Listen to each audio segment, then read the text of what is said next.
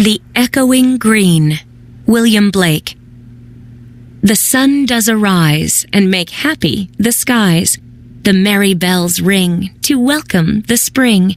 The skylark and thrush, the birds of the bush, sing louder around to the bell's cheerful sound, while our sports shall be seen on the echoing green.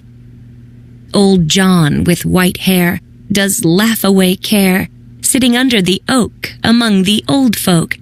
They laugh at our play, and soon they all say, Such, such were the joys when we all, girls and boys, in our youth time were seen on the echoing green. Till the little ones, weary, no more can be merry. The sun does descend, and our sports have an end.